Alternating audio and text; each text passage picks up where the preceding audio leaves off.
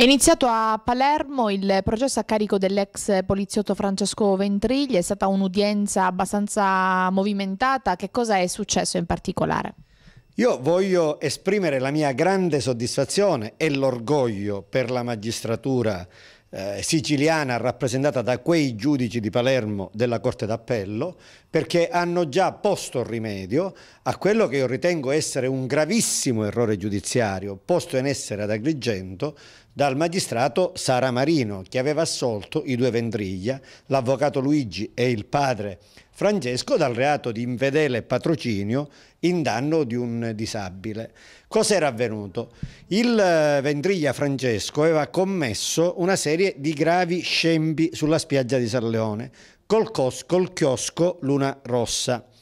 Poi si erano adoperati con artifici affinché rispondesse penalmente degli abusi del Francesco Vendriglia un disabile che appunto era formalmente il titolare di alcune autorizzazioni. Eh, in primo grado i due Ventriglia, l'avvocato e il padre erano stati assolti con una sentenza che avevo raccontato in questo volume eh, ritenendo che fosse semplicemente una sentenza scandalosa.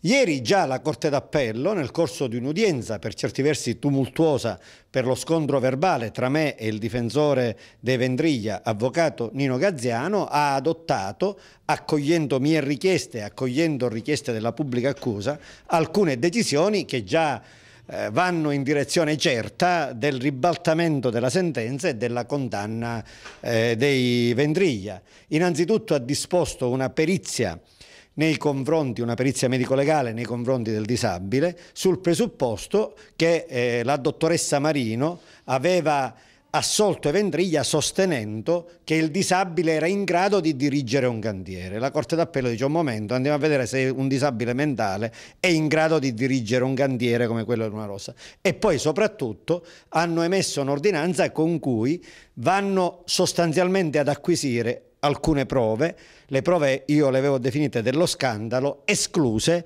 con un provvedimento abnorme dal magistrato Sara Marino.